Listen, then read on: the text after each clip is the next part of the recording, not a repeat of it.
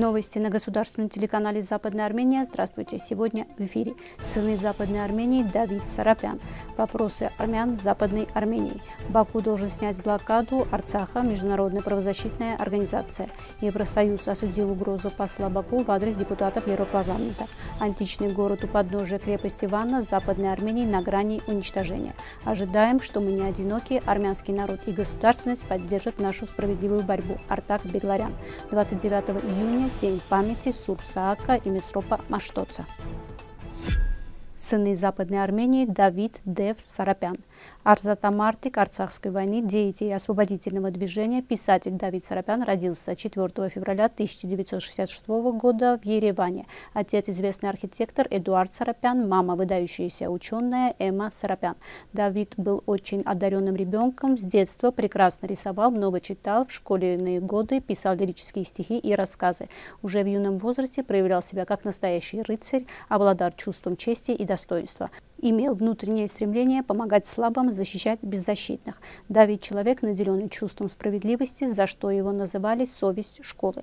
После окончания средней школы имени Дзержинского Давид поступает на факультет кибернетики Ереванского политехнического института. Давид учился на втором курсе, когда студентов лишили возможности освобождения от военной службы. Давид был близоруким и имел возможность не служить, но принял решение пойти в армию, считая, что мужчина должен пройти школу мужества.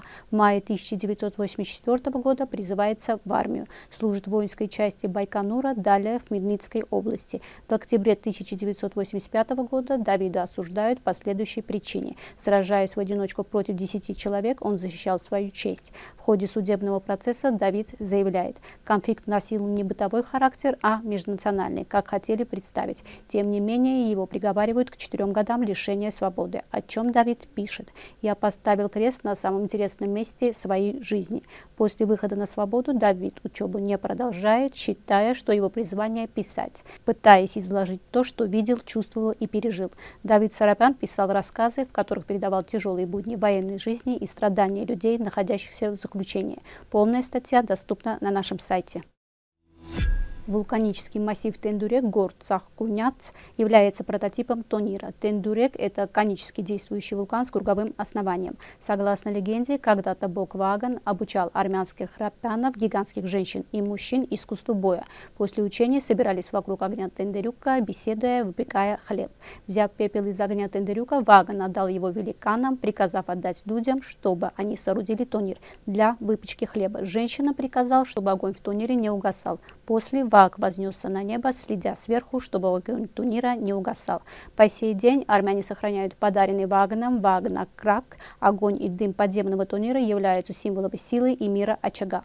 Армяне, поклоняющие солнцу, уподобили турнир заходу солнца. Армянские женщины, выпекая хлеб и готовя еду, преклонялись перед турниром, как перед божеством. Международная правозащитная организация коснулась вопроса перекрытия дороги в Бердзоре, призвав власти Баку снять блокаду Арцаха и положить конец разворачивающемуся гуманитарному кризису. 15 июня Баку прекратил все передвижения по Бердзорскому коридору, который является единственной дорогой, соединяющей Арцах с Арменией.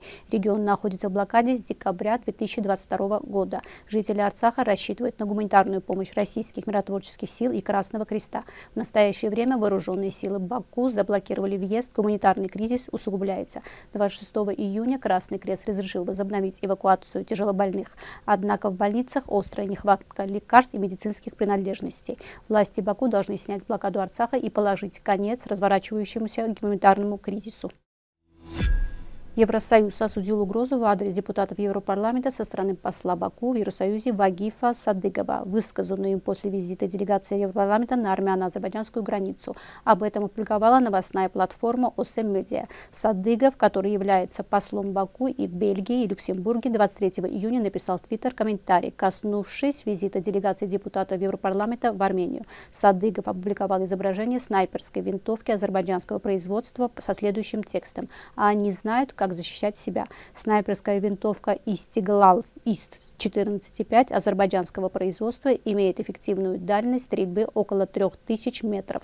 Держитесь подальше от государственной границы Азербайджана. Комментируя пост Садыгова, представитель Евросоюза сообщил от СМЕДИА, что им это известно. Мы осуждаем такое поведение, которое абсолютно неприемлемо для посла, аккредитированного в Евросоюзе. 26 июня к этой угрозе обратилась и глава подкомитета по вопросам безопасности и обороны Европарламента Натали Луазо.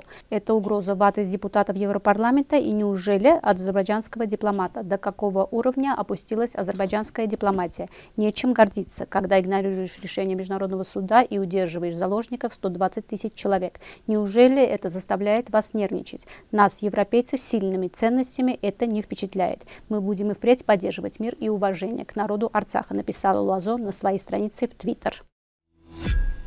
Руины, дошедшие до наших дней из населенного пункта, известного как античный город Ван, построенный у подножия Ванской крепости, постепенно разрушается.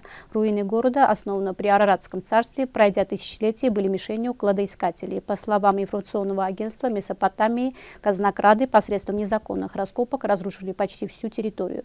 Помимо ущерба, нанесенного кладоискателями, различные части исторического города используются как хлеб.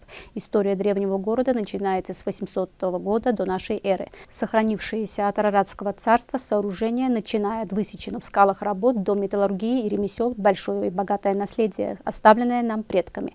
Ванская крепость и находящиеся в ней сооружения должны охраняться. Советник госминистра Арцаха Артак Бегларян оставил запись на своей странице в Facebook. Сегодня 200-й день преступной блокады Арцаха. Вместо разговоров о развитии и наших планах скажу одно. Уверен, авторы и исполнители блокады удивились, насколько стойкое и решительное армянство Арцаха. В этот исторический период наше главное ожидание в том, чтобы мы не были одиноки и весь армянский народ и армянская государственность поддержали нашу справедливую борьбу. Без Арцаха нет Армении, без Западной Армении и Восточной Армении нет Арцаха. 29 июня Армянская апостольская церковь отмечает День памяти святых переводчиков Саака и Месропа. Сурп Саак Партев, сын католикоса Нерсеса Великого, Нерсеса Меца. Будучи образованным и в искусственном, в музыкальном, ораторском искусстве, филантропии и языковедении, Саак Партев внес большой вклад в развитие армянской национальной культуры и создание армянской письменности. Вартапет Месроп Маштот и Сурп Саак Партев – основатели армянской письменности и церковной библиографии. Сурп Месроп Маштот родился в 360 году с детства изучал греческий и персидский языки. Первоначально служил при дворе в качестве писца. Оставив мирскую жизнь, стал священником, живя в строгом отшельничестве. После создания букв Сурпсаак и Сурпмесроп начинает перевод Библии, выполняя его настолько совершенно, что спустя столетия перевод Библии на армянский язык считается королевой перевода Библии. И в завершении новостей послушаем музыкальное произведение в исполнении японской пианистки. Thank you.